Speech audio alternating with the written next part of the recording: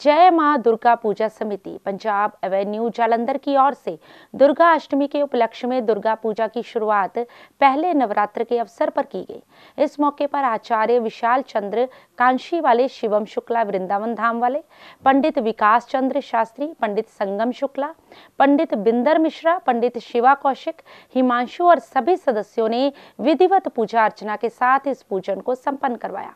इस मौके पर प्रधान राजनीति मेहता ने सपरिवार उपस्थित होकर माथा टेक आशीर्वाद प्राप्त किया। इस मौके पर अखिलेश चौधरी, गौतम मिश्रा, मिथुन चौधरी, रिंकू मिश्रा, प्रदीप कुमार कुशवाहा, दिनेश कुमार, विजय यादव, विक्रम, कृष्ण मोहन झा और सचिन सहित अन्य भक्तजन भी मौजूद रहे।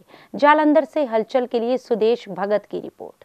अठारवा जय माँ दुर्गा पूजा समिति, सभी भक्त मिलकर माँ भगवती का पूजन अर्चन कर रहे हैं। हमारे सभी ब्राह्मणों के द्वारा जय माँ दुर्गा पूजा समिति ये इतना बड़ा यज्ञ करने जा रही है।